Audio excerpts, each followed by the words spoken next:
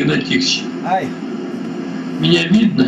да видно, ну, нормально видишь. что Маленечко темновато, ну, на- раз, различаю, где голова, где ноги. Так, ну еще, прочитал, что я послал? А что читать? Я смотрел видео. Ну вот видишь все. А до этого отец Сергий говорит, а что вот сказал Игорь, что мы не принадлежим к патриархии? А как? Они криком кричат. Мы должны об этом говорить. Они-то думают, как бы мы их не осквернили, что люди подумают, это действие наше исходит от патриархии. Да я вас боюсь, как чумы. Че бы я с вами соединялся-то? Вот одно дело, только не идут. Строем идут, их не касается. Он выскочил из строя и начинает. Как только они прошли, рваное уже Евангелие валяется в снегу. Уже видели? Они не могут быть другими. Я их не обвиняю, ничего, но я должен заострить момент на этом. Вот вчерашний момент был это как раз для тех, кто говорит, а почему вы вот это, говорите, что мы не отсюда. Мы обязаны это сказать. Потому что вы говорите, люди, которые вокруг нас говорят о страшных пороках церкви, вот вы откуда пришли, а мы к ним не относимся совсем. Сохрани Бог, чтобы я...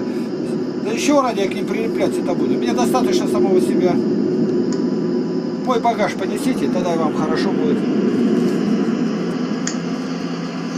Ну да, прямо, я не знаю, меня поразило даже вот это вот нападки такие. Ну я вживую увидел. Я раньше такого не видел. А когда бы увидели рядом патрульные машины, милицию вызывают, как они лгут, как вызывают прокурора. А милиционер-то пришел, и вы увидите там, когда в Павловске, там стоит на этом, да здесь же он есть, в Ютубе и на, в Mail.ru. И вот он, милиционер-то проверил, я ему говорю, они записывают, все, документы отошли. А он теперь забегает, милиционер впереди этого настоятеля, отца Александра. Ну и что теперь делать? Он не знает, что говорить. То есть они подмяли милицию под себя. Ох, ждет же их кровавая баня. Это все отрыгнется им. А тогда он говорит, а вы у батюшки благословитесь, и вот у нас есть где-то дальний район, там три избушки. Так вы поезжайте туда по благословению. Он что, дур- дурака считает-то. Я приехал, где 20 тысяч человек, в каждый дом заходим. А он мне посылает, где три домика там в тайге. Он, ну, это к батюшке относится в его каноническую территорию. Поезжайте туда, батюшка вас благословит. Я еще могу сказать, ущербный умом, ущербный совестью. И вот еще вот он прицепился, я заметил, э, Игорь говорит, э, ну вот почему вы не напишете на спине у себя РПЦЗ? Вот, а я думаю, а какая разница, отечественная или зарубежная эта церковь? Не может же э, церковь зарубежная и русская церковь говорить разные вещи. Мы же церковь, мы же одна церковь, и говорить должны мы одно. Вот как будто рынок гастарбайтеров какой-то, знаете, конкуренция за клиентов там вот, э, можно по- подумать, хлеб у них забирают. Вот знаете, такое ощущение создается. Так мы это всех до единого направляем в храмы Московской Патриархии. Самый главный это вопрос-то. И все сразу не... Как? Так вы к себе не зовете. У нас запрещено звать к себе. Нашей общине, допустим, 23 года. И мы ни разу никому не разрешили к нам звать. Вот у нас на 26 вот следующее воскресенье будет день открытых дверей. В прошлый раз пришло два человека, корреспондента. Все. То есть можно оповестить родственникам, у нас вообще просто так не придешь. Как э, писал корреспондент тут один, это, Тепляков, и говорит, в общину Клапкину попасть нисколько не легче, чем в отряд космонавтов. Нас в чем обвинять? Я вербую, тащу, у них отнял людей, которые могли бы отдать им деньги за свечки эти вонющие. Ничего этого нету, вообще нету. А почему против? Так вы им задайте вопрос, я-то не против. Ни единому за 23 года ни один человек этого не сказал. У нас тут приехал один священник, а приехал э, к диакону, а диакон к нам не расположен. Но ездил раза два с нами, ездил, я его убедил, ну на машине, он шофер там. А этот священник ему родственник и говорит, а вы ездите везде только и говорите, чтобы патриарха не слушаете, он КГБшник. Я говорю, ну-ка, диакон, иди сюда. Твой родственник этот говорит. Вот. Скажи, мы хоть раз говорили? Он говорит, нет. Ну ты с нами ездил, видел? Нет. Вот он ни разу поп не ездил, и притом он к нам не враждебный, Но здесь он патриархийный. Говорили мы или нет? Он говорит, нет. Он, он должен был что тогда сказать? Простите, ребята, я не знаю, почему я слышал по разговору, вот вы сами говорите, ваш батюшка стоит, тут и диакон, который мне друг больше, чем вам. И он говорит, не было. Он этого не делает. Он закрывает машину, сел, хлопнул дверка. Они беспокоянные. Эта ложь будет ему препятствием на мытарствах, особое мытарство лжи. Они безбожники. Вот я гляжу, Чаплин против, говорит, я могу прокомментировать, меня просят. Я не стал комментировать. А сегодня на моем же форуме выставили то, что Андрей Кураев говорит. Он его прокомментировал. Ну, прокомментировал, ну, не целиком, а отдельные только пункты, которые я бы не смог тронуть, таинственную сторону. Вот мы всегда, церковь, в каждом слове ложь. Непрерывная ложь. Да не было этого никогда у вас. Мы по Евангелию издаем, говорит, что? Это был такой писатель Алексей Толстой, это не Лев Алексей. И он говорил, вся истина находится в ЦК ВКПБ. Так и здесь вся истина под патриархии. Он говорит, это совершенно новое учение. Это даже Папа Римский на это не посягал.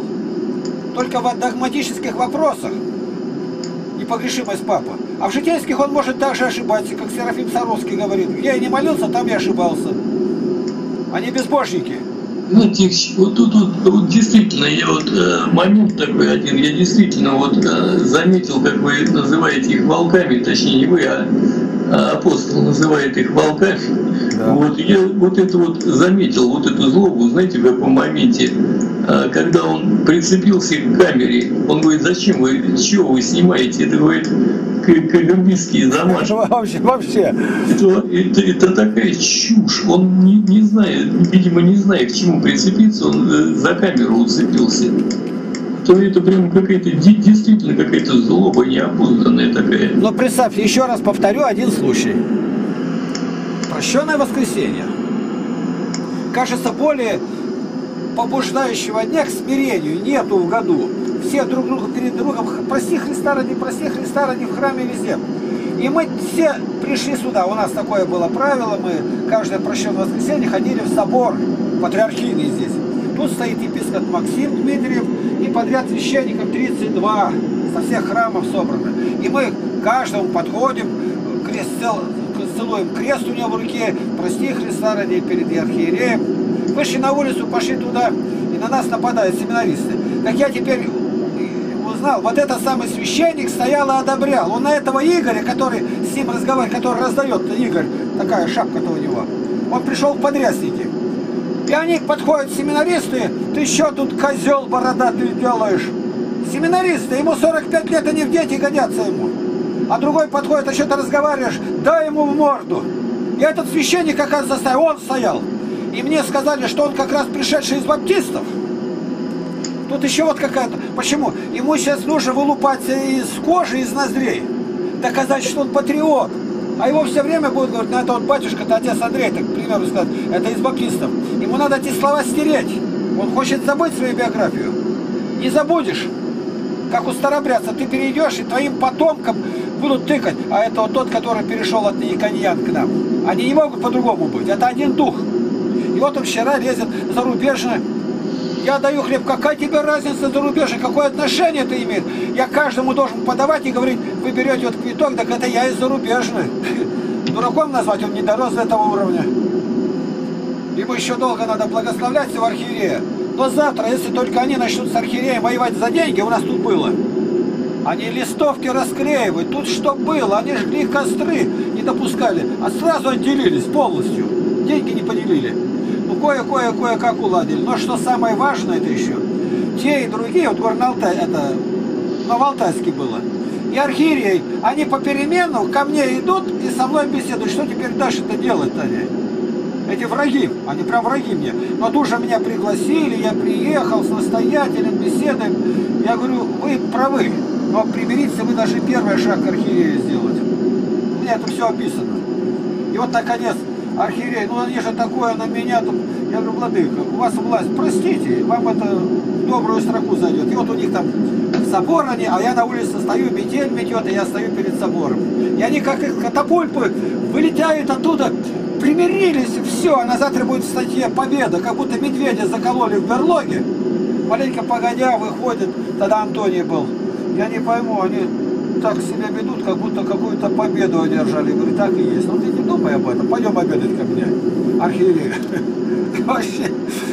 А, а серый кардинал, Войтович был сидел, он те и другие данные знал и молчал. Он руководил закулисной борьбой, я его знаю.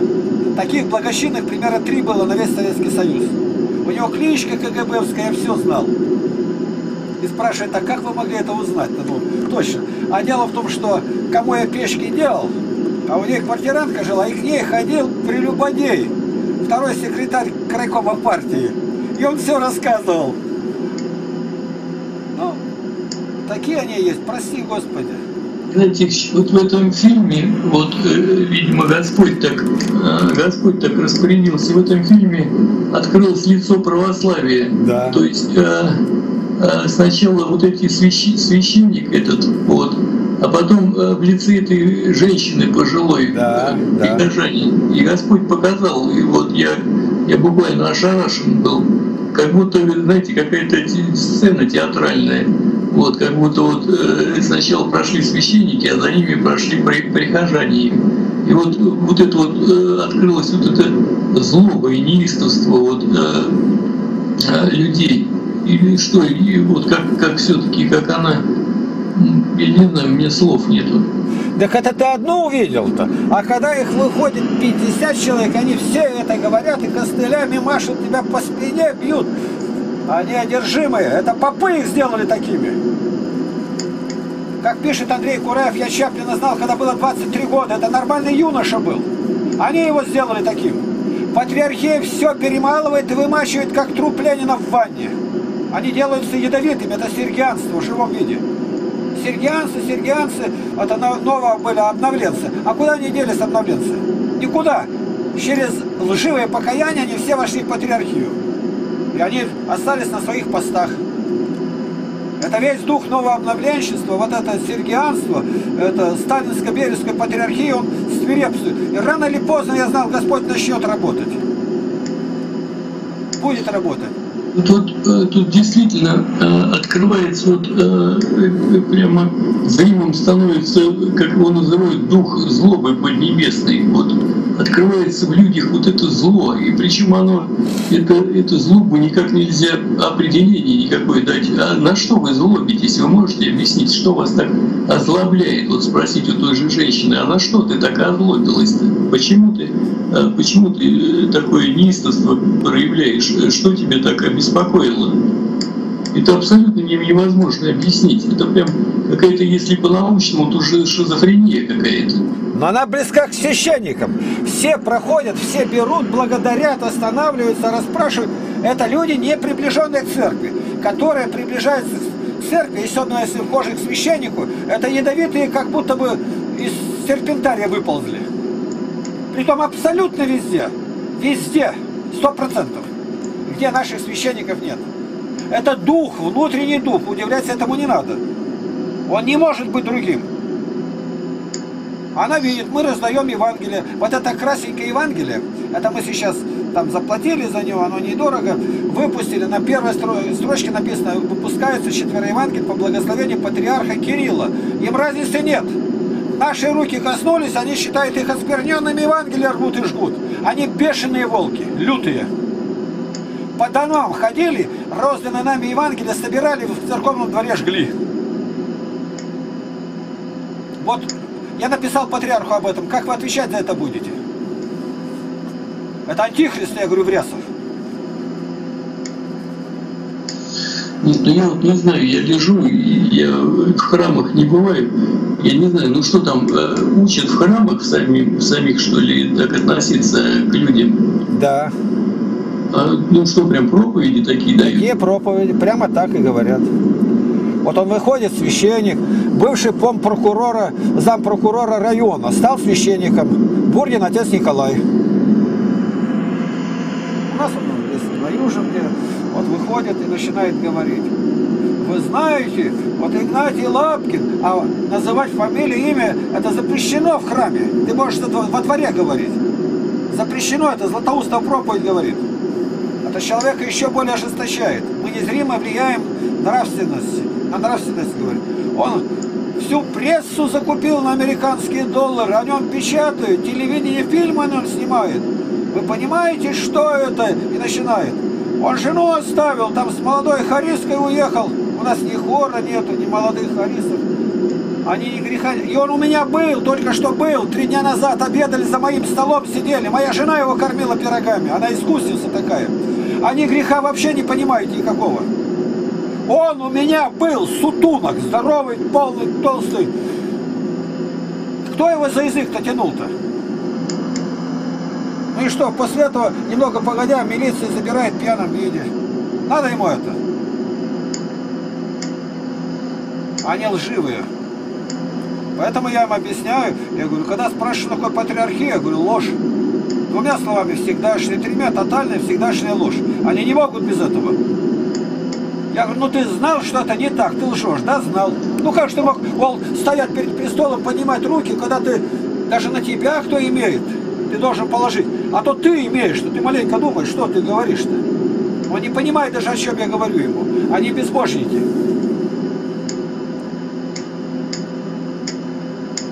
За столом архиерея, когда сидели, и наш архиерей рядом, в епархии здесь, Московской патриархии. Я на этой, где семинаристы, я ему сказал, епископу Максиму, это ваш волчатник. Это вы их такими сделали. Я их знал, прекрасные ребята были, как Андрей Кураев о Чаплине говорит. Это вы их сделали такими злобными, непримиримыми, лживыми. Они не могут даже сообразить, что им помощь идет. Они не привыкли к свободному глазу. Они привыкли только лицемерить, чтобы его не оттолкнули от кормушки. И там он будет чавкать всю жизнь. Это будущие священники, которые нападали на этого Игоря, кричали «Козел, ты дай ему морду!» А священник стоял, и наши сестры говорят, так ваш священник одобряет, а он стоял рядом. Мне вчера сказали, это он стоял как раз. Только что вышли из храма, вместе с... Из...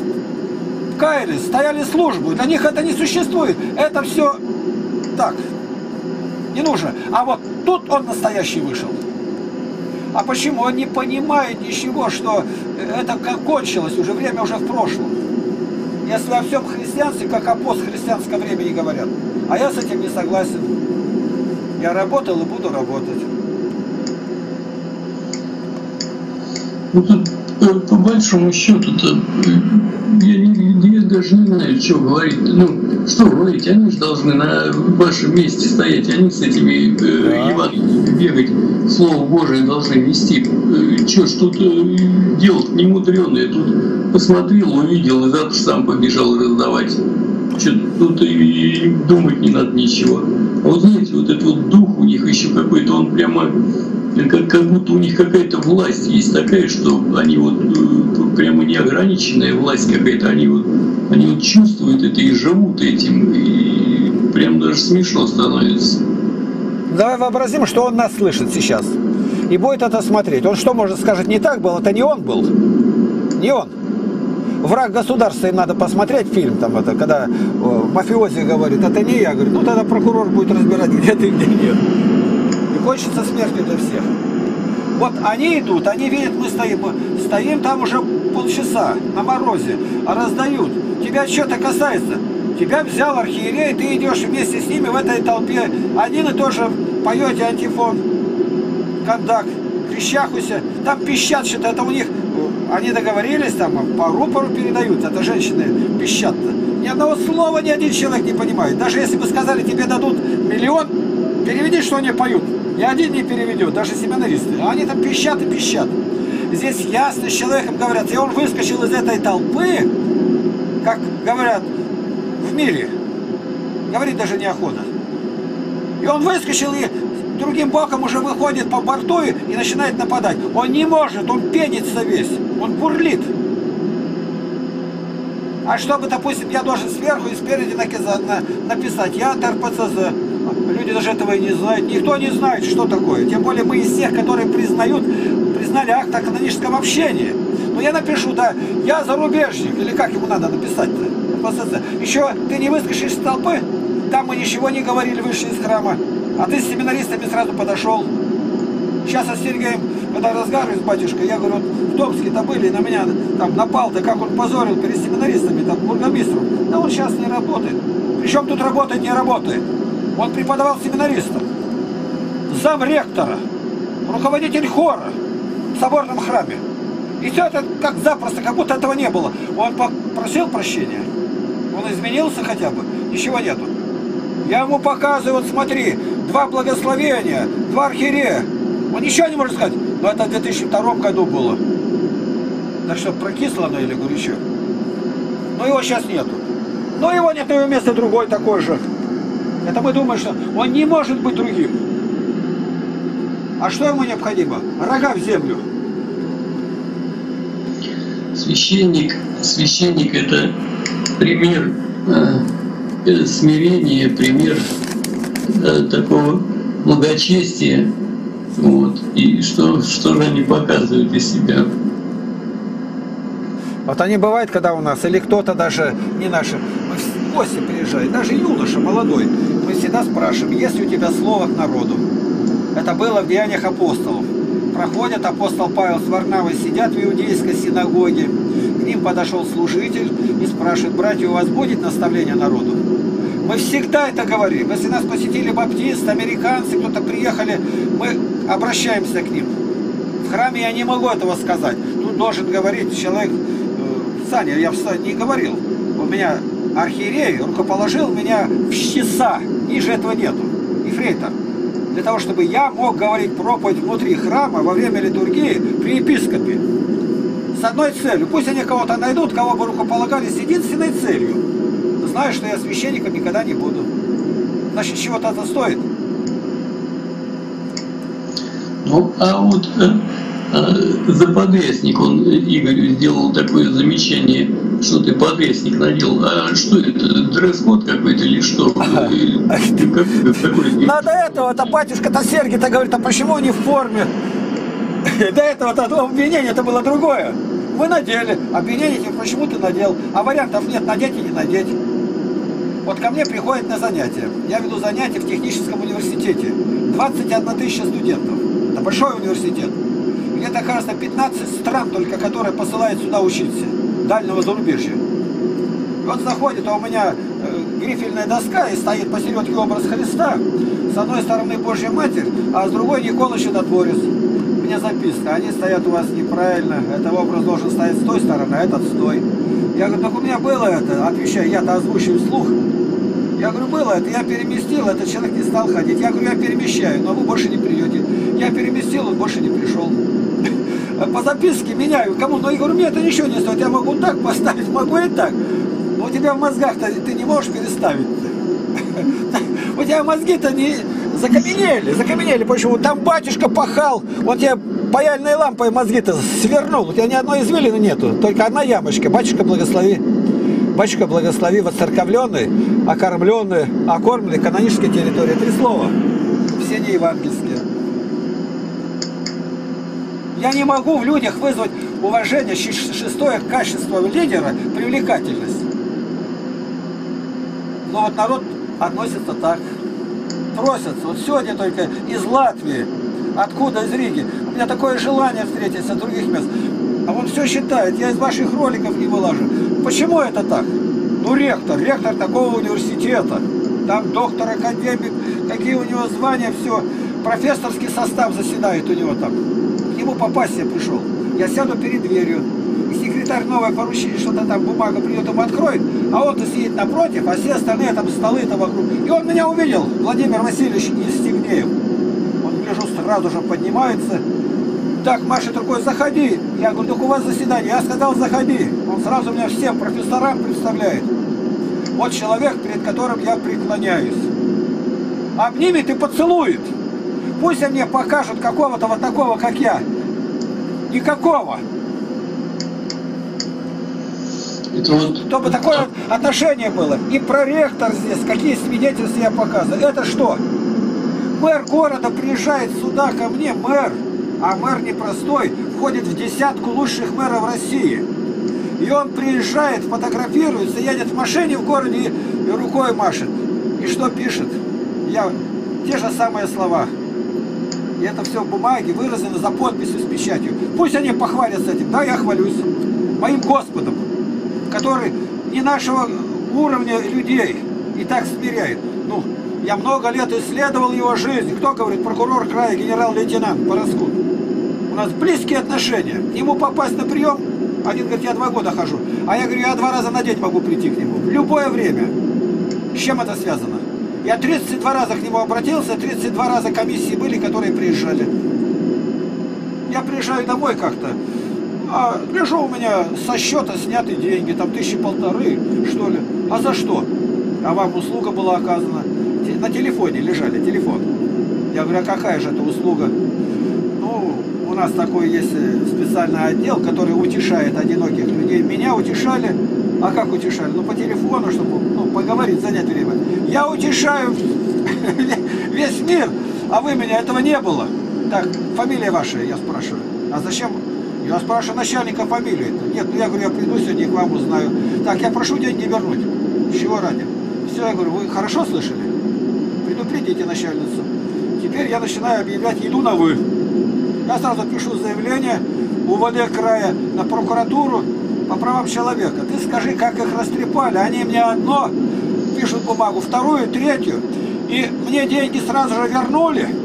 И их лавочку закрыли полностью. Вот и все. Я говорю, вы думаете, с кем связались-то? Я вас предупредил дважды, вы не отдаете деньги мои. Скажите, а где ваша услуга? А начали спрашивать, они не могут представить. Услугу-то они должны показать, где оплатили-то. Ничего не было. И кого вы будете утешать? Меня? Да, действительно, вы им звонили? Да, я звонил. А как звонил? Потому что у меня телефоны, детский лагерь открытый, я спросил, вы не хотите детей отправить в лагерь? Я же не государственная структура, я сам должен рекламу дать о детях, сам взять, сам отвечать уголовно, нравственно перед Богом. Это 41 год. Ну и все. Победа-то не из-за того, что я имею связи где-то, а то, что Бог. Бог. И эти тут они все боятся. Он на меня, вот мы пригласили их, и этого священника, ему уже говорят, у 26 у нас он не придет. Никогда. А мы зовем их открытые двери, батюшки. Я пригласил 33 священника и 12 семинаристов. Вчера, если в наш ролик смотрели собрание, где я много об этом говорю, там э, вчерашнее собрание, там слово Ах, и, кстати, как не смотреть, я уже как будто, я уже там ваше общение, я уже присутствую там везде. Ну так, ну я что скрыл-то? Я все отвечаю как есть. Я подвожу, ты видишь, как начало откуда и подвел так молитве-то. Я длинный круг-то сделал, я предупреждаю, я не мимо иду. Что такое посох?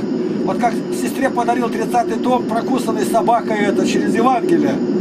Но это, но это нельзя сделать такую проповедь. Это надо сначала сделать то, что мы сделали впереди. Какой был день, как она шла, где мы были, называю. Они эти, вот это даже собрание, оно уникально, неповторимое. Ни Чаплин, ни никто не повторит. Почему? Ну, они не могут. А вот Чаплин выходит, ну что, он почапал перед народом, дальше ничего нету. Если обо мне снятые ролики, на одном, я высоко на дереве, на дереве, лестница. Я молодых не посылаю, я говорю, у вас жизнь впереди, а меня еще жалеете. И они меня стаскивают с лестницы, я все равно лезу, держите лестницу. Один снимает, Володя. И я отпиливаю сучки, которые провода задевают. Ну пусть Чаплин покажет, где он на дереве. В другом месте я на столбе провода натягиваю. А снизу комментируют, я молодых-то не допускаю. Он не может это создать. Он не может показать, как он купается в Севасийском этом озере с собакой, плавает в Черном море Каспийском не может показать, как в доме Мулы. То есть у нас такое разнообразие, такая гамма. Тут флейта играет все время. И они злобятся. Злобятся-то от чего? Было бы на кого. Завидуют. У них ограниченное мировоззрение. Когда говорят завидуют, говорят, что завидуют? Я говорю, скажите, Пилат язычник, он не мог знать больше, чем фарисей. Он говорит, ты знал, что предали зависть, а они не знали. Стефан говорит, и братья предали Иосифа из зависти, по зависти. Значит, Стефан знает, а они не знали. А что бы мы завидовали, да вот мальчишка, разноцветная одежда. По зависти, Дух Святой уже и объявил-то. Они мне не просто завидуют, а ужасно завидуют. Почему? Свобода. И Андрей Кураев говорит, вот эти дни я себя, кажется, в жизни никогда так не чувствовал с такой свободой. А я ему говорил, Андрей, ты меня коснулся. Ты дважды сказал, я Игнатию завидую. Я сильно завидую его свободе. Вот теперь ты ее получил. Ты сказал завидую, а я помолился. И как только я руку положил на это плечо налево, тебя налево сразу выкинули. Сразу, сразу пошел. И он сейчас, сейчас считаю его, на, на форуме меня поставили. О, о, я, говорит, такой свободный, такая радость у меня на сердце. А я живу в этом день и ночь. Вот так. Смотрел вот тоже э, этого Дмитрия Смирнова, вот э, как он за ну, за одежду, за женскую, за мужскую да. одежду. Прям батюшка вот такое ощущение, знаете, как будто не хочет вот э, такое прям упрямство у него, не хочет согласиться. Вот он свое мнение, он считает правильным, как говорится, есть одно мнение, оно мое, другое мнение не существует. Вот. Э, человек или женщина, у нее может быть вопрос жизни и смерти, она ему вопрос такой задает, э, можно ли носить там мужские брюки женщине, полезно ли это, не полезно. И избивает человека на корню прямо.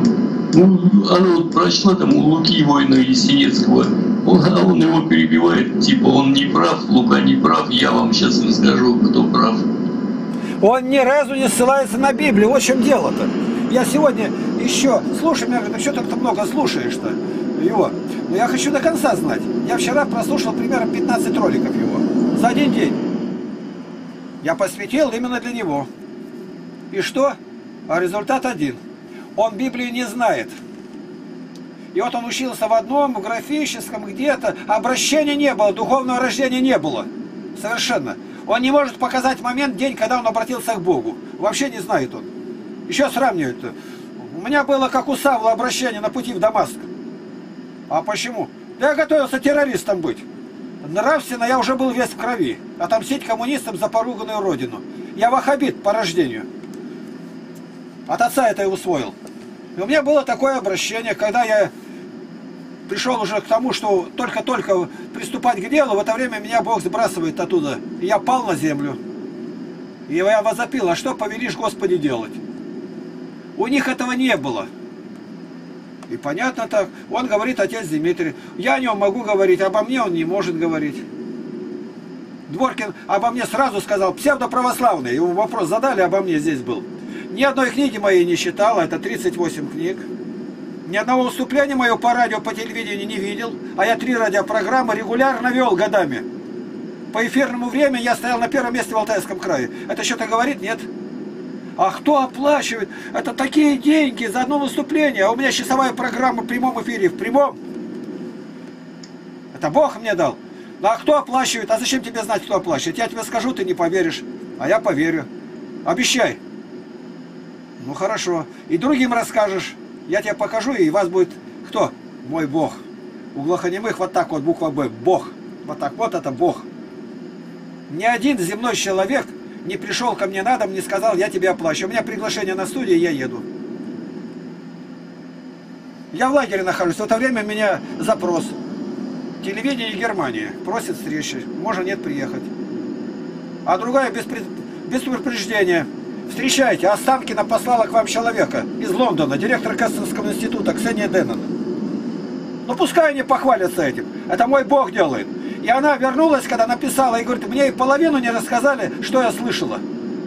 Это слова царица Савская Соломону сказала. А что вы хвалитесь? Почему же не хвалиться? Написано, хвалящийся хвалить Господом. Я в деревне, никто не знает. Это Бог делает. И она какую статью-то написала? В сибирских степях. Так на нее еще нападки были от православных патриотов. Где она увидела в Игнатии вот эта толерантность, то другое, он такой нетерпимый, я узнал, она англиканка. Англикане, они имеют рукоположение. Церковь признала. Перед самой революцией готовились с ними соединиться. Зачем бы наехала такую даль с Лондона? Лондон, директор института. Она не приехала к губернатору, не приехала к Путину. А кто? Никто, я никто. В полном смысле никто. Ни должности, ни звания, ни денег. Ничего нет. У меня на, на одних штанах 15 заплаток. Ну, я вот, я вот не понимаю, я вот знаете, как э, смотрю сейчас на мир, ну, с своей, с такой с точки зрения, с лежащей, вот, и прям вот, знаете, какая-то вот повальная вот эта вот шизофрения вот идет сейчас в обществе. Вот, ну, Христос нас как учил, вот, э, учите, э, узнавайте по плодам, научитесь их, по плодам их узнаете их, да? Вот. Это же, это же легко делается. Ну, э, вот я чем больше узнаю людей э, из вашего круга да, общения, тем больше я начинаю вас уважать. Вот, потому что э, среди этих людей нет ни одного лжеца, ни одного грубияна, нет ни одного такого, как говорится, замешанного в чем-то там, в той или иной пакости какой-то.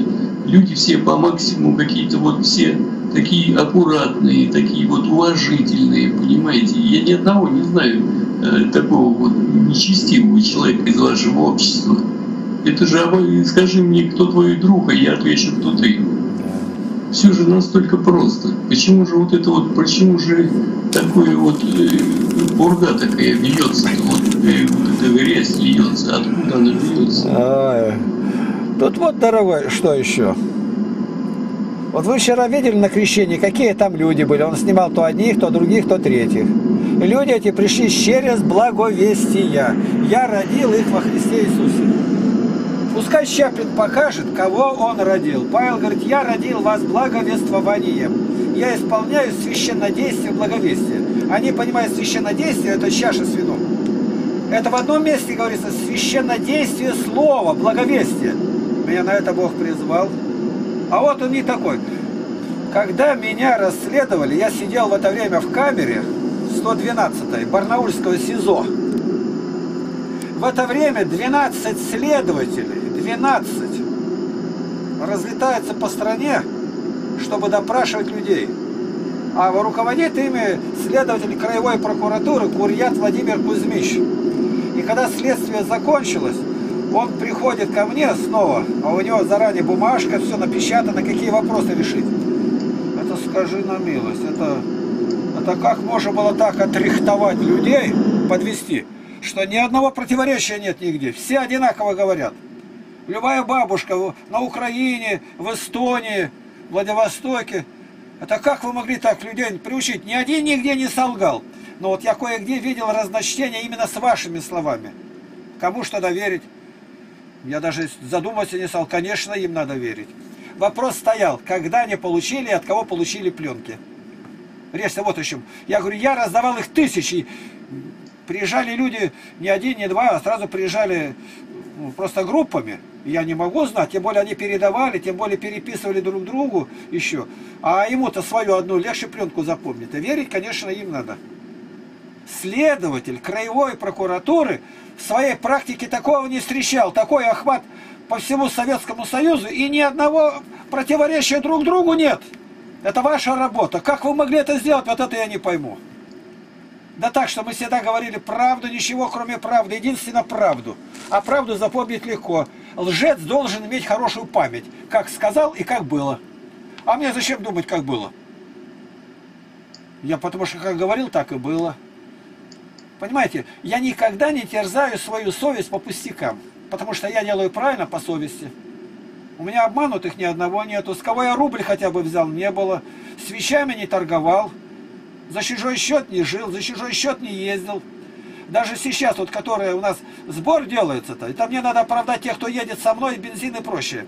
На кормежку себе я ни одного рубля не возьму. Когда я ездил по Америке, меня вызвали. Единственный человек, по миссионерскому фонду. Единственный человек за всю историю, это мне там уже сказали. И там мы ездим, и они мне не могли кормить ни одной пачки мороженого. Они видели, что у меня за, заштопаны на 10 раз носки, когда увидели, они ахнули. И они все написали лично вам, чтобы никто не брал. Я все равно не взял. Это не мое. И не потому, что я такой хороший и хочу. Это внутренне, я всю жизнь этим живу. Мне очень тяжело, когда мне помогают. Помогают люди. Тяжело, я не могу ничем воздать. И вот вчера я своим э, программистам говорю, ну утром не могу никак включить. Вот стоит на одном месте, я перегрузку делаю, полное выключение. Сказать-то я сказал, а сердце заболело у меня. Я вернулся, прошло время, и неспокойно так. Я тогда по телефону звоню и вызываю, брат, э, программист один, ты меня не тревожь, у меня уже он работает. Ничего не покупай. В прошлый раз было как, закрой глаза. Я закрыл. Он новый компьютер купил, новый процессор, все поставил. Я кое-как узнал, сколько стоит. Кое-как деньги вернул в карман. Прихожу домой, деньги уже опять лежат в кармане. А он придумает купить что-то новое-то. И мне уже тревога. Давай, дай слово мне, иначе я с тобой буду просто разговаривать по-другому. Ничего не покупай. Я дам фонарик на ремонт. Он тут же новый купил, мне подал. Вот так же нельзя делать-то. Сказал, записывать надо. Я только сказал. Он тоже купил на 2000 гигабайт, это терабайта 2. Купил уже, это деньги стоит. Вот тут я, вот, я вот тут вот с вами не согласен. Э, понимаете, в чем дело? Тут мы делаем общее дело. Тут э, вопрос в другом совершенно стоит. Я прекрасно вас понимаю, что вы максимум ведете такой аскетический образ жизни. Это понятно. Я стремлюсь тоже к этому. Вот, и поэтому понимаю вас. Но здесь вот по поводу компьютера, у меня вот сегодня опять тоже душа болит. Я думаю, надо деньги искать где-то компьютер, покупать ему новый. Смотри, запрет. Не сметь, не сметь. Это нельзя делать, он хороший, он работает. Я его каждое утро почти водой святой краплю. Я утром встаю, просворку, глаза, уши, все святой водой он работает, но он слабый, понимаете, в чем дело. Нормальный, хороший, хороший у меня. Хороший, сильный компьютер. Ну смотри, разговариваем, еще еще надо. Главное, внутри я свободен. Я уже этим. У меня, знаете, как у меня стоит два компьютера. Вот, у меня два монитора, два компьютера. Вот у меня один ломается, у меня не, у меня, у меня каждая минута на счету. Мне не должно быть, чтобы у меня были. Ну, вы это другое дело. Я, я, я на ногах я включаю другой компьютер, чтобы у меня не было ни минуты простое. Ну правильно.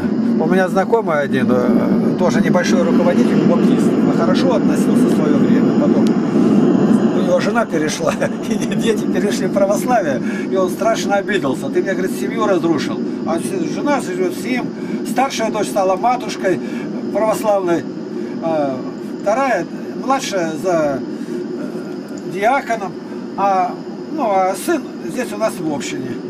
Вот, программист как раз, я о нем и говорю это дело.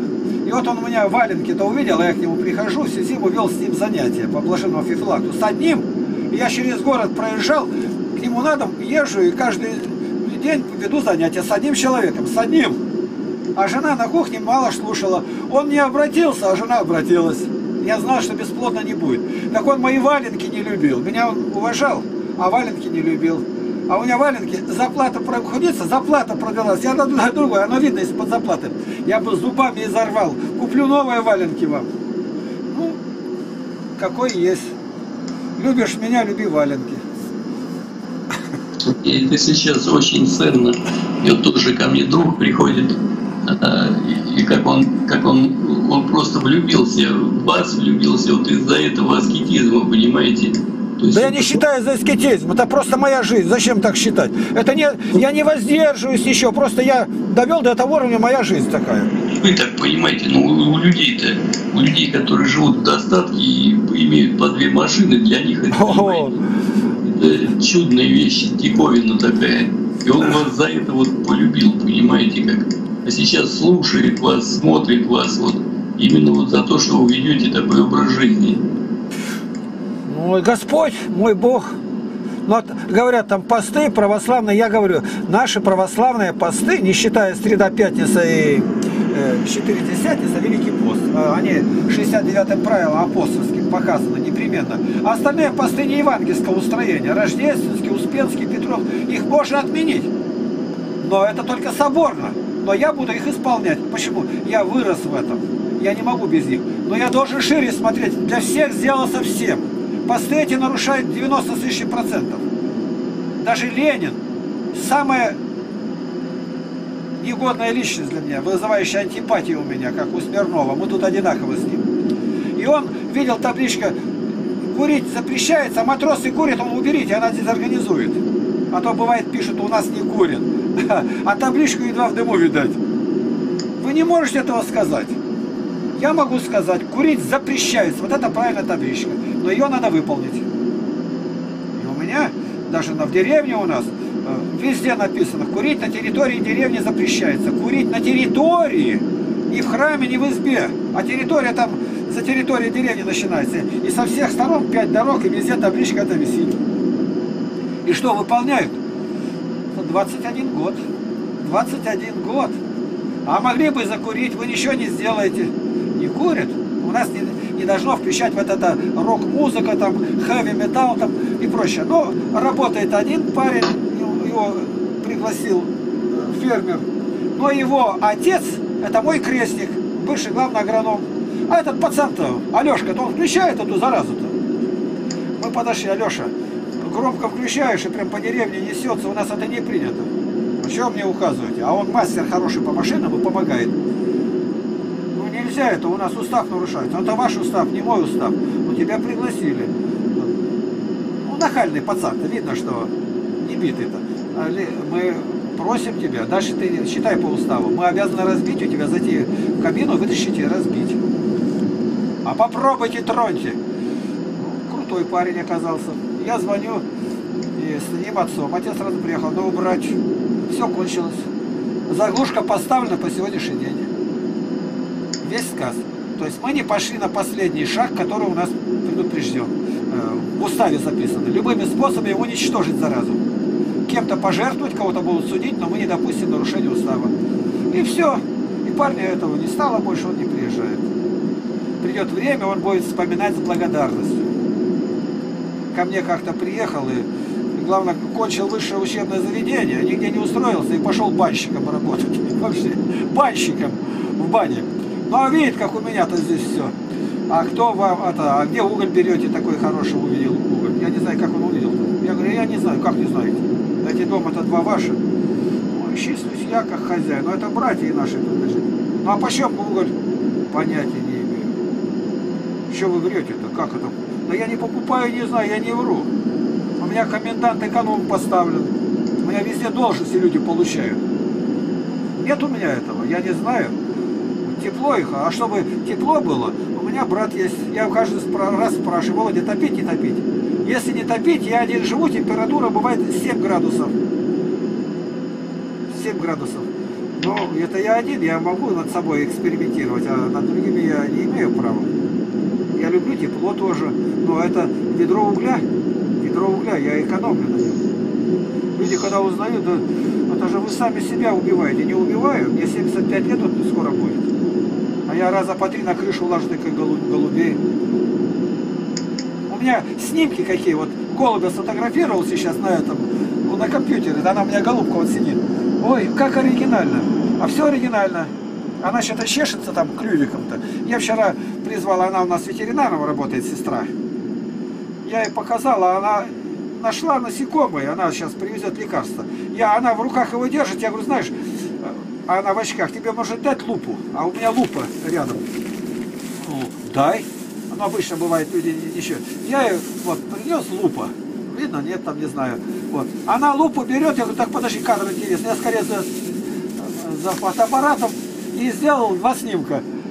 Как она рассматривает, стоит в длинном платье до пола. Я разные снимки сделал. Оригинально, а да, оригинально. Ветеринар на дому рассматривает. У другого голубя там шишечка была у глаза. А у нас двое учатся в университете э, медицинском.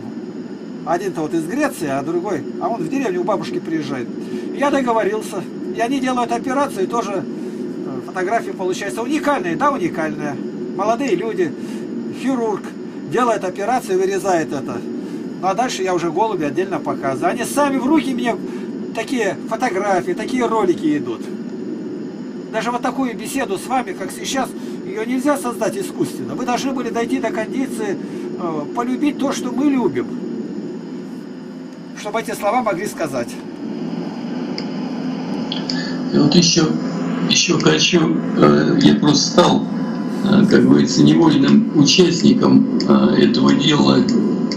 Вот, и сейчас хочу вот так прокомментировать немного. В общем, ну, может, две, там, может, три недели назад мы с отцом Сергеем Дудиным вот, разговаривали о его ну, о его родственниках, дяди его какие-то там, я не знаю, недалеко где-то. И вот он мне рассказывал эту историю, так вкратце рассказал, что живут такие вот братья, они абсолютно не веруют в Господа. Вот. А один умирает, а у одного рак. И все, и я, это я даже по нему где-то я делал запись такую вот, э, то есть э, разговор наш записывал на видео. Вот. И все-таки как, э, как все-таки э, проследить, если за всей, всю эту историю, и как все-таки действительно сбывается, вот Господь слышит молитву вашу, ведь человек абсолютно был при смерти, рак э, последней степени, у него ну, практически у него агония была, он находился уже одной, одной ногой в том мире. Вот. И как все-таки Э, вы смотрите, батюшка что рассказал, что он буквально встал на следующий день и стал ходить. А врачи, э, у врачей глаза полезли на лоб, и они подтвердили то, что такого, такого не может быть. Человек просто уже при смерти находился. И, посмотрите, непонятно по каким причинам э, стал на ноги. И вот вы этот фильм вот дополню, ролик это немного разобью и дополню его э, коротким видео, где батюшка мне две недели, может три недели говорил об этом э, родственники его. Насколько мы э, с отцом Сергием говорили тоже о том, э, как слышит вас Господь, какое дерзновение вы имеете к Богу. Вот, э, э, то есть о силе молитвы. Да, удивительный человек. Это э, только говорит только тот, вот, кто не знает вас. Ну, а только делов-то, это уже Бог все делает. Вот правильно отец Дмитрий э, сказал, Смирнов здесь. Молитва наша, это Господь склонный к молитве нашей. Это все Бог делает. Это мы понимаем, я не буду делать оговорки. Я про это и знать бы где-то не знал. Но если эти известия поступают из Германии, из Австралии, из Америки, где просили помолиться, и они с таким же точно удивлением и сразу... А я только говорю, вас что-то молиться некуда. Нет, мы тут слышали там из Сакрамента, там бывает там Сан-Франциско, мы слышали, что вот вашу молитву... Да откуда мне знать-то? Это вы говорите, я ничего за собой этого не знаю. Приезжает один человек и говорит, я же на операцию готовился, то у меня с ногами-то какая беда. Старообрядец, там у них моление длинное. Ну и вены, все полопалось от загниения, там тромбоз и то другое. Ну он пришел, я говорю, ты меня только это, прости, я попрошу тебя, заголи ногу-то, покажи. Ну, ногу-то открыл, ой-ой-ой, там язвы какие. Я говорю, ты к врачам-то ходишь? Конечно, хожу. Что? Да ничего, они не могут, только вырезать надо вены, там где-то что-то вставлять, ну, там сшивают сосуды. Я говорю, а ты не против, если помолимся сейчас? Ну, мы же все время молимся дома. Ну, это не помешает наша молитва. А у меня крест. Я маленько отвлекусь, этот крест священнический. Однажды заходит один человек, мы его звали монашек. Хорошо относится, очень хорошо, но зацикленный такой на монахах. Не замужем, не женатый. Он говорит, закройте глаза. А я сижу на машинке печатаю. Ну, я закрыл глаза, он что-то там копается у меня. Я и... Он надевает на меня священнический крест с цепочкой, все. Я посмотрел крест, а с чего это ради ты на меня надел-то? Не знаю, мне вот такое было побуждение найти на меня священник. Да нет, я носить не буду, я не священник. А откуда он? Ну, цепочку вроде он сам приделал, была, а крест нашли, видимо, где расстреливали священников. Священнический крест. Крест этот я возьму, а носить я не могу. И он у меня крест этот висит дома на стенке. Я его снимаю и говорю, Андрюша, э, Андрей Феодотович Долгов, уж назову болящего, город Новосибирск, 57А, Зеленхозовская улица.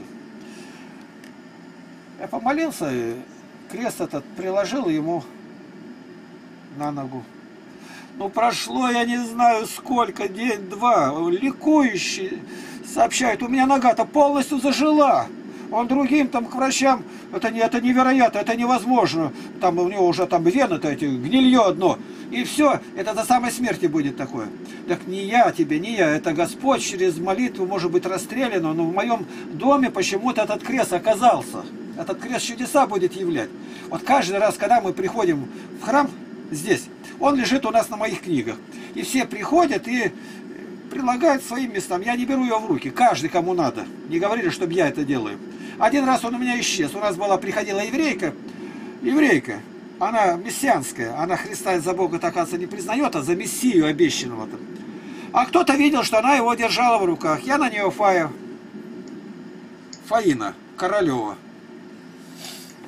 Она его утащила у меня. Для чего утащила, я не знаю. Видимо, к своим евреям туда в Кагал. Лечить их. Но я ее просто попросил и сказал, этого делать нельзя. Она его вернула. Вернула, и он у нас сейчас лежит. Вот. И вот этот крест получилось так, что он у меня оказался с собой в кармане. И меня арестовали с этим крестом. Теперь задача, я знаю, он серебряный крест, его отнимут, но он примерно вот взять ладонь поперек вот так вот, и палец вот вверху, вот примерно такой высоты. В следующий раз я покажу какой, вот такой вот. И я его должен на обыск. Уже есть видео с этим крестом. Да, книги там есть. И вот теперь как мне его сохранить? Один обыск на КПЗ. При выходе опять обыск. И в тюрьму принимают обыск. Я все обыски прошел и пронес. Но я чувствую, что рано или поздно где-то кончится. Там миноискателя. А он же зазвенит металлически. И когда я со следователем установил контакт, а тогда был Пищугов Виталий Николаевич. Тогда была у меня не краевая, а городская прокуратура. Ну, я его говорю, когда познал, у меня есть одна вещь такая, вы не могли бы ее домой передать? А, она не запрещенная, она не запрещенная, просто к ней отношение неправильное. Я, ну дай мне слово, что ты не погубишь. Да нет, никак. Я говорю, у меня крест большой, я говорю, священник. И вы его пронесли, я говорю, пронес. А как же вы могли его пронести? Господь, я говорю, так обещаешь, да? Я из кармана вытаскиваю краюшку хлеба. Я ее выскоблил, его туда заложил на поперек, так это, ну как, от леща хлеба-то. И опять мякишом все это смочил маленько, замял, высохло. Она, а когда обыскивает, ее в сторону сразу хлеб домой откладывает. Его и не проверяют. А зачем проверять? Это хлеб. А крест это тоже как хлеб духовно-то.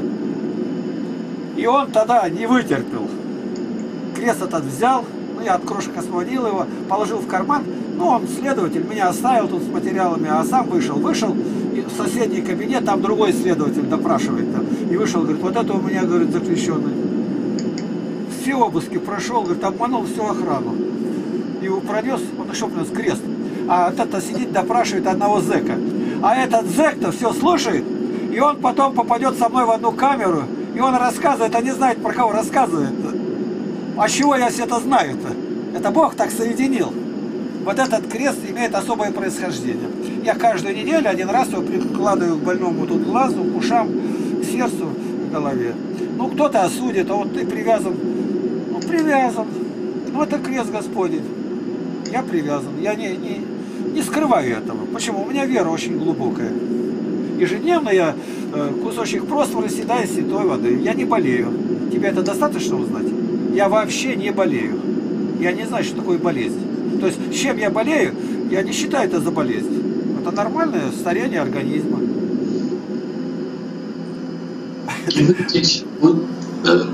Я что хочу сказать. Я вот так думаю, что в этом и есть э, секрет. Вот все-таки люди часто себе задают вопрос, ну как мне учиться так молиться, чтобы меня Бог слышал. И вот мне, мне так думается, что весь секрет молитвы в этом и находится, чтобы, э, как вы говорите, как Андрей Кураев о вас говорит, что Игнатий Лапкин э, не знает компромиссов, он свободен. Вот эта вот сила молитвы находится вот в этой бескомпромиссности и свободе. То есть человек должен по максимуму отходить от, от, от лжи, должен по максимуму и в чести с собой жить. Э, да. Вот, и это может приблизить Богу. И тогда Господь услышит твою молитву. Я спрашиваю людей, говорю, когда ты ложишься спать, какая у тебя последняя мысль? Ты, ну кто его знает какая? Ты даже не думаешь, а я думаю. И какая? Я только одного прошу, ангел, чтобы мне не проспать, а ночную молитву встать. Я же не один в комнате, это чтобы никто меня не видел. Краткая наша молитва, я опять встать. И вот я проспал. Я глаза открыл, я выспался. И первая мысль, я еще не поднялся. Так вставал я ночью или нет? У меня сегодня ночью такое было. Я не припомнил, как я одевался. То есть, ну, это ежедневно. У меня задача теперь, пока не поднялся мой друг, брат Владимир, то успеть помолиться ночной молитвой. Она уже утром входит, уже ночная это, с натяжкой будет. Но все равно еще ночь у нас тут здесь. Я говорю, у тебя когда такое было, не было? Ну, а что ты меня спрашиваешь? Я смотрю в глаза Чаплина, когда он говорит, мне страшно от его взгляда. Это следователь КГБ непримиримый. Какие глаза, какой взгляд, он буквально съедает. Я мог бы спросить, вот, а у тебя будут вопросы к Чаплину? Да, у меня вопрос сегодня есть, одинаковый к отцу Дмитрию Дудко, этому, э, Смирнову. Когда вы молились непрестанно? Непрестанно, о чем вы рассуждаете? А Давыд говорит, непрестанно я знаю, но я семь раз становился на молитву. Когда я от всего отхожу и только на молитве. Когда? И когда ты последний раз плакал на молитве, когда у Бога просил, ну год назад, 10-20 лет, мне не важно, когда? Он не может назвать, я уже заранее знаю, эти глаза его, я смотрю в глаза и вижу, они не застилались пеленой слез. И он говорит все то, что угодно его корпоративной системе. Вот в одном выступлении против Кураева, я не знаю сколько, но примерно, я так на, на ощупь скажу, примерно 40 ошибок он сделал, 40 раз солгал. 40! Я что могу сделать? Ничего. Севолод Чаплин в моей молитве, он уже не уйдет, я его зажал. Теперь моей молитве будет каждый день. Он никуда не вырвется. И он не будет понимать, что с ним делается. А как вы молитесь? Господи, пробуди его совесть, которая убита в нем. Она сожженная совесть у него. Из-под пепла пусть она воскреснет. И дай ему хоть маленькую веру в тебя по Евангелию. И коснись его благодатью Духа Святого, о котором он понятия не имеет. Андрей Кураев неприкасаемый сегодня.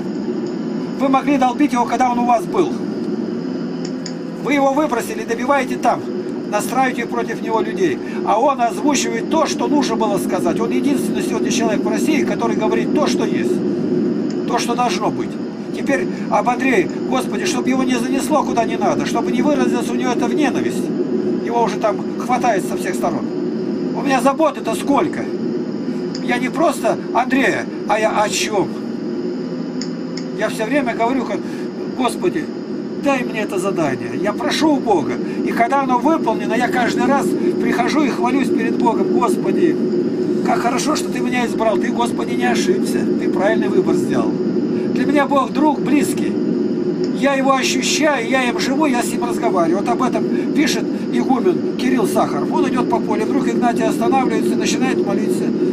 Что такое? Среди поля молится. Он говорит, а ты слышишь, как жаворонок поет? А мы за Бога, Бога-то не прославили. Это совершенно необычный человек, он не вписывается ни в какие рамки. Вот Луарье расклассифицировал всех всех животные млекопитающие, каким разрядом. Но вот попалось животное, которое они не знают, куда определить. Не могут определить.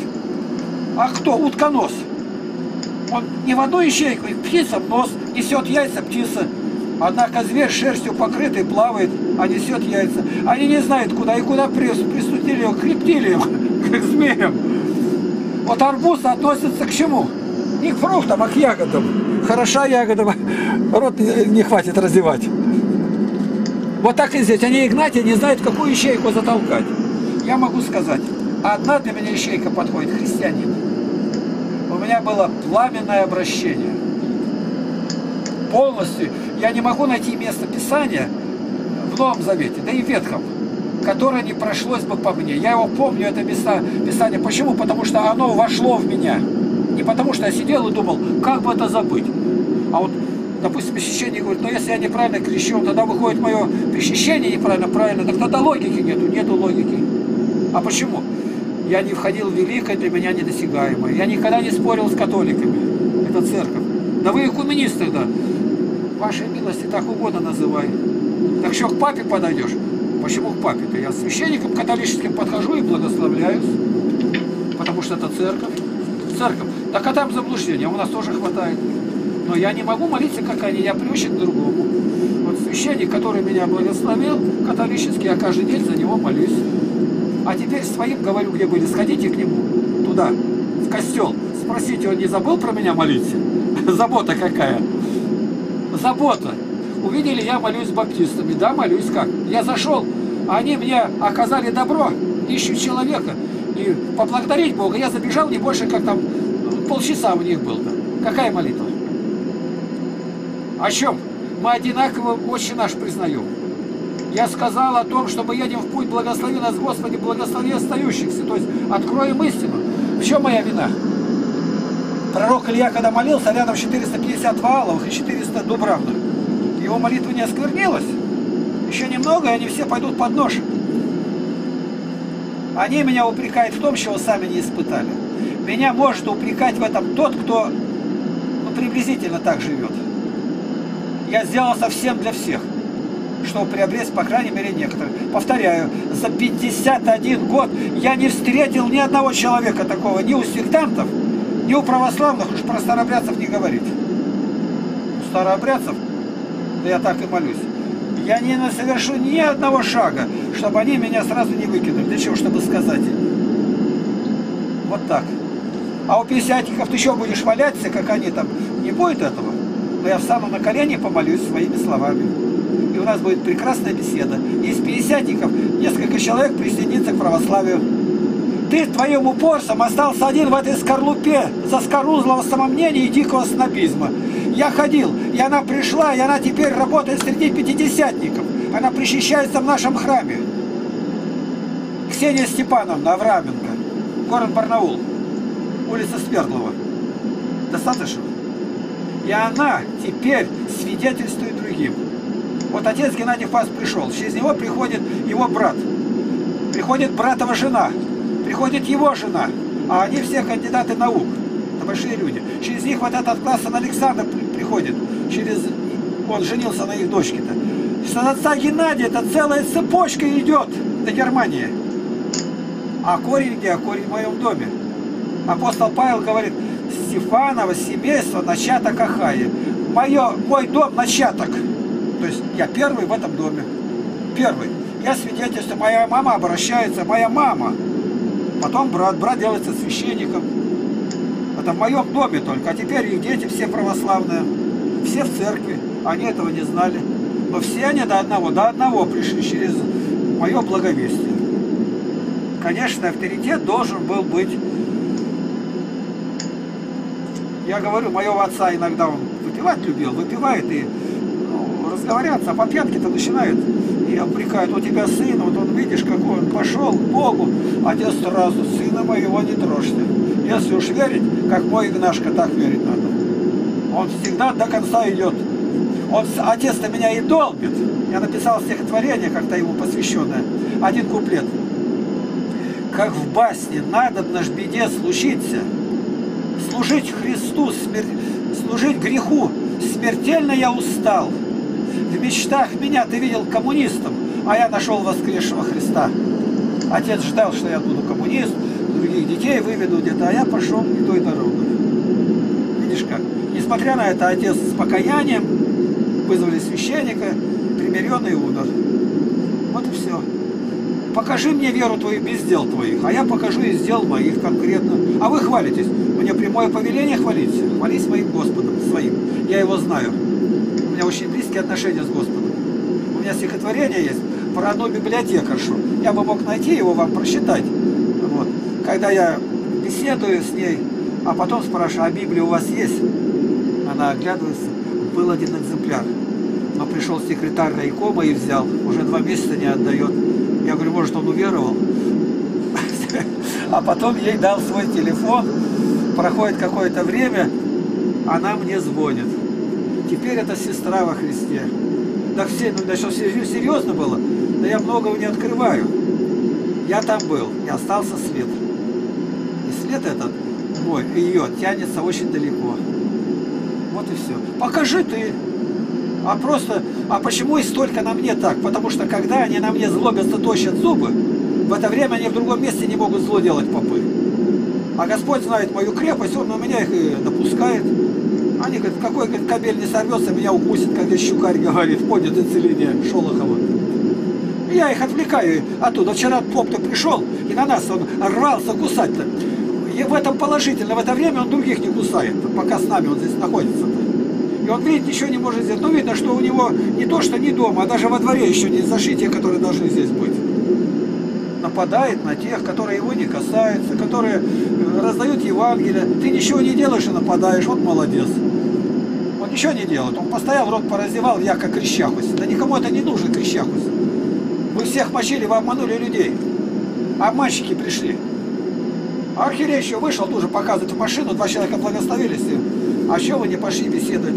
Когда нужно, они вызовут.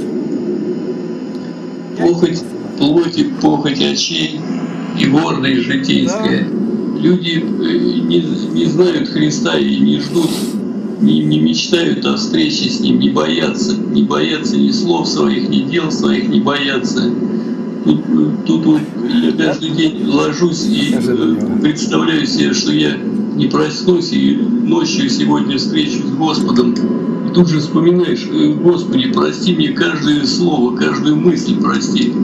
И тут же нужно, ну я не знаю, как тут бороться нужно за каждое свое движение, все осмысливать и расценивать, и переоценивать все. Ну как же вот в этой злобе жить? Как же злобиться нам друг, друг на друга, ненавидеть друг друга, причем беспричинно, ненависть беспричинная абсолютно. Да главное, что я их не отрекаюсь. Я к ним иду навстречу. И когда враги к вам приходят, поносят, скажите, а за что они конкретно? Причину-то не указывают. Я знаю за что, за книги.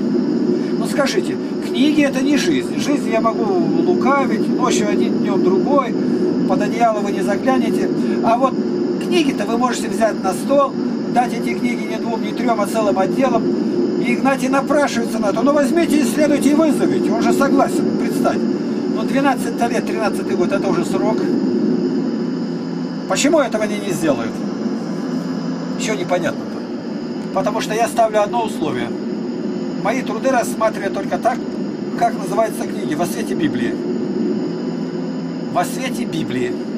А если вам нужно, я буду подтверждать канонами, житиями святых, трудами святых отцов. Вот четыре параметра. Но на первом месте Библия. Игнатьевич, ну вот вы говорите книги, да? Ну, книги, они понимают, что есть книги, но книги никто не читал из них. Да. Ни один не читал. Говорит, хоть держал в руках, даже не видал. А что ж ты злобишься? Притом в разных концах страны вот эти вопросы им задавали. Но вы хоть в глаза-то видели книги? Нет, не видел. Все отвечают. Один кричит мне, его сейчас епископом послали, Роман из Карабельникова. Я считал ваши книги, ну скажите, какой том? Он не может сказать. А что именно вы считали в книге-то? Он не может сказать-то. Он солгал. Он солгал. А почему? Потому что ложь это основа патриархии. А если вы не будете лгать, они вас сожрут. Вы обязаны лгать. У меня следователь пришел и говорит, Сейчас, говорит, дело расследую. Но он не одно дело мое ведет, он следователь, это несколько дел. Девочка одна в классе, там, восьмой, девятый класс. И она с ними не участвует, из хорошей семьи, и она девица. А они-то, Б, шлюшки. И они что делают? Договариваются со своими кабелями. Ее хватают, затаскивают в подвал. Вчетвером держат руки-ноги, они ее насилуют вы не найдете в мировой литературе, ни в одном государстве, где бы это было, нигде. Это время советской власти. Советская власть была. Чтобы они, почему она не такая, ее нужно сделать такой же. Затаскивают наверх, седьмой этаж. Валят на землю, одни держат, а другие все под одной подходят и писают ей на лицо. А чем закончится? Она бросается вниз и разбивается. Так вот, это делают со мной патриархийные попы. Они меня насилуют. Они писают на меня и какают, как хотят. Но они ничего со мной не сделают. С крыши я не сброшу, слишком высоко. Они ничего не сделают. Почему? Я делаю все по высшей шкале. Слава Вышнему Богу. Они самое все страшное свое дерьмовое тащат на меня и по себе судят о мне. Но они бы могли обо мне сказать то, что они говорят. В чем их обвиняют, в чем Невзор их обвиняет. Но не могли бы мне это представить-то? Все, что Невзоров на них говорит, давайте мы на Лапкина это накатим. Ничего у меня нет, ни машин, ни мотоцикла, старый велосипед, ни в одежде, ни в одеянии, ни в питье, ни в блуде, ни в гума, голубом, ничего этого нету. Я уж слово-то скажу, что когда говорят, что мужчина бывает на мужчинах, я читаю в Библии это. У меня в мозгах не вкладывается, что это может быть. И, ну, я знаю, что грех есть, но у меня нету извилины, что такой грех существует. Я знаю, что он есть, но настолько он противоестественный, что я не могу его вместить на уровне размножения. Они не, имеют такого чувства, как я. Я имею чувствование во Христе. А что думает Господь? Меня всегда интересует. А что сказал бы мой Господь? У меня написано девятикуплетных 3467 стихотворений. Почему они не нападают на них? Они нападают издали, они ни один не прикасаются. Там двойной, тройной подтекст заложен. Это невозможно написать. И все до одного написаны без единой помарки, без черновиков. Этого не может быть. И кто-то старейшие поэты меня спрашивают, где вы берете темы? Я говорю, показываю угол, и дальше показываю вот. Вот у меня главное орудие мое. Вот оно. Крестом, не знаю, видно не то. А такое, кошка тянет. А он у меня рядом сидит. Видишь, все делает. Вот, может быть, даже покажу, видно будет. Вот он. Вот. Рядом сидит чудушка мое. Мне все интересное. Почему? Оно без выдумки. Оно честное. Не ворованное. Поэтому я для них неуязвим. О чем отец Геннадий им сказал, они не прислушались. Игнатия спасает его безукоризненность. Хотя я за собой знаю многого, а чего бы спрятаться надо. Ну, не, смертные грехи, а где-то подумал, где-то там что-то. Такое, что ни в один канон не входит, но совесть меня судит. В моих книгах нет цензора, кроме моей совести и Бога. Вот что их страшит. Ну как, и вас ни один архиерей, да был архиерей не согласен, но я ни одного слова не заменил. И брат священник, да, он благословляет, да, благословляет, он потом будет смотреть. Он это благословляет, даже до конца не досчитал. Когда я издавал, э, насчитывал пленки, это 2500 часов. Так это только не все. Не все, это то, что в суд попало. 2500, не считая архива, на 3000 часов, где я по стране ездил, записывал репрессированных, э, раскулаченных. Ни у кого нет такой фанатики, как у меня. Это в то время, когда еще советская власть была. Почему вы этим не занимались? А магнитофон-то у меня был, маяк 205, только в мешок. Я с проводами еду, и через весь храм бывало провода тяну и делаю. У меня преград не было. А вы тряслись в это время. А я записывал интервью. Вот, вот наша, большая разница между нами и ими. Батюшка говорит, вы ропщите, но адрес обратно на первой странице, на последней. Ну, напишите автору-то. Ни один не написал еще, ни один за, за 12 лет. Вот ответ. Они герои за углом. Они открыто не выходят, чтобы снять забрало и сказать, я иду на вы.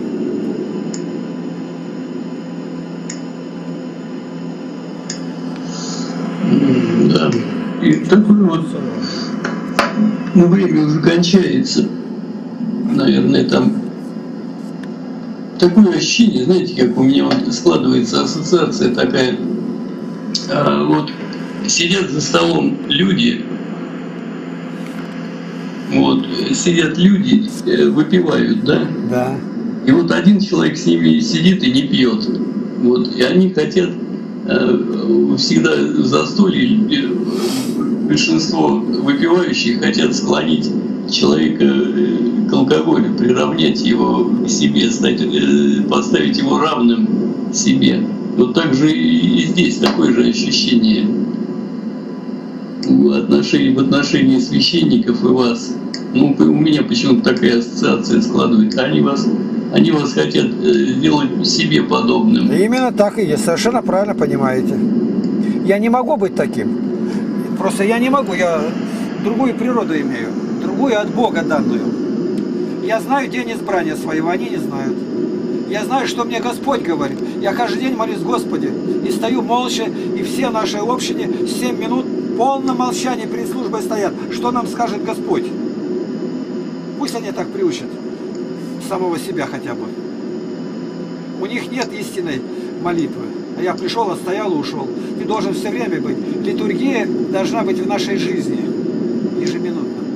А то, что они злобятся, ну это от Бога, Бог допускает. Довольно для тебя благодати моей, жало, плоть сатаны. Павел говорит, я молился, говорит, трижды молил его удали.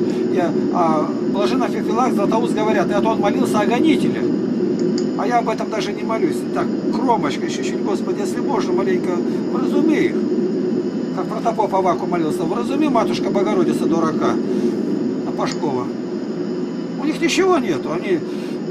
Предстанем давайте перед судом, перед вашим Синедрионом где-то, вызывайте. Ну, во Библии. Они не готовы. Меня просят прокомментировать вот эти волхвы, даров, прочее. Все это выдумка. Одним словом скажу, выдумка. У не знающих Бога. Мне это не надо. Я не верю в эти дары. Какие а у них есть, у них есть какие-нибудь доказательства того, что это истина? Никаких, абсолютно никаких. Они их клепают каждый год новое. Это греческие торгаши-монахи, они больше ничем не занимаются. То кости везут, то голову, мироточиво, а народ кидается. Это все отвлечение людей. И люди думают, а у меня вера какая большая. Я 18 лет, 18 часов стоял к этой святыне. Там ничего нету. Я не отрицаю, ходите, кланяйтесь, но вы не мешайте благовестию. Я никогда не смотрю на грехи священников, а он такой-то. Он должен знать, и архиерей должен его запретить. Вот, допустим, сейчас беседуют, обнаруживают, какие там голубые, какие красные. Я этим не занимаюсь никогда. Мой голос там никогда не бывал. А заступаетесь? Конечно, нет. Я только молюсь. А вот когда я узнаю, что местный священник и нарушил седьмую заповедь, а он благочинный, и о нем везде это молва, я частное расследование делаю. И узнаю, что это не так. А дальше, а дальше на своих встречах с людьми я разбиваю в дребезги все. Что он не, он не виновен. Так он мне не друг, так он после этого, я не знаю, со слезами на глазах, как говорится. Он узнал все. В каких огромных аудиториях я выступал и везде-везде говорил, он не виновен. И вот какие доказательства. Такие доказательства, которые никто не опровергнет. Вот и все. Для меня не важно, враг он или не враг. Который клялся хотя бы злому и не изменяет клятве. 14 псалом считайте. Они этого не знают. Вот Дмитрий Смирнов вот выступает много. Вот я сегодня слушаю, он неверующий совсем. И вот все он говорит, у него опыт. Ему один вопрос задают, он отвечает совершенно не по вопросу. Да. Ты ему открой место Писания и скажи, так говорит Бог. Он не может нигде сказать. Так говорит Дмитрий, он может сказать и завтра он другое мнение будет. Он идет за людьми. Если он включит правила, чтобы мужчины были вот так, такие, а женщины одевались, так у него в храме-то не будет. Он сам себе лжет. А я не боюсь это сказать. Мы сказали, день открытых дверей. И кого приглашаете, чтобы одеты были по форме. Все одетые по форме. Два платка, платья донизу. А мужчина, а мужчинам правило одно, были в поясе, и с собой табак не брать. Все. Я ничего не наставил. Какой тоталитарный режим? Это дресс-код русского человека. Мы... И каждый раз, каждый раз новое придумывают. Сейчас уже придумали, что Библия, э, Библия говорит о трансвеститах. Да. То есть говорит. в одежде Она говорит, они что они в огне будут гореть. Разные слова, никто не поймет, что это. Начать я просто не сказать, что бегемот, это гипопотам, аллигатор. Да кто знает, а крокодил все знают. А вот начинают, все это глупости. Нам это не положено. Как говорил вот, Карп Осипович Лыков, отец Агафий, нам это не можно. Так, ну что, отец, отпускай. Моя Володя сейчас на работу будет готовиться. Есть еще? Про карточку не узнали ничего? Про карточку не спрашивали? Про какие? А, карточку пластик.